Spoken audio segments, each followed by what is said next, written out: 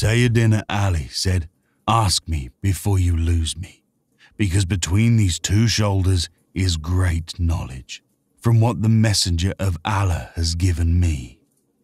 A man stood up and said, O leader of the Muslims, when will the Dajjal come out? Imam Ali said, It has things unmentionable to this matter, and things follow one after another, like the sandal follows the sandal. He will come out when people kill of the prayer, when people are no longer trustworthy in their actions and they think their lying is permissible, when people begin to eat usury and there's bribery everywhere.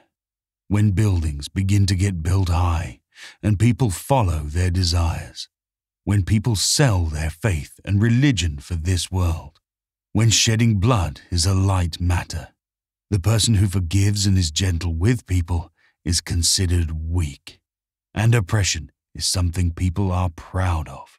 The rulers are the worst of people. People trust the ministers and the ministers betray them. The literate people become wretched. Oppression manifests everywhere, and divorce becomes common, and sudden death. Also, ornamented masjids. Mosques are made beautiful, and mimbars made high. When hearts become bereft, people break contracts without caring. Musical instruments are used all over.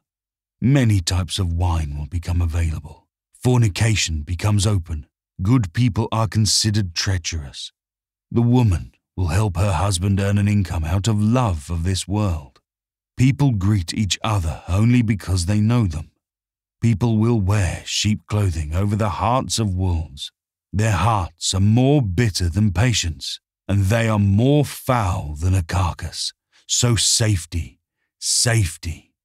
He said, It is just worthy of this world that in the morning it supports a man, but in the evening it does not recognize him. Subscribe to Al Haqiquh for more videos. Peace be upon you.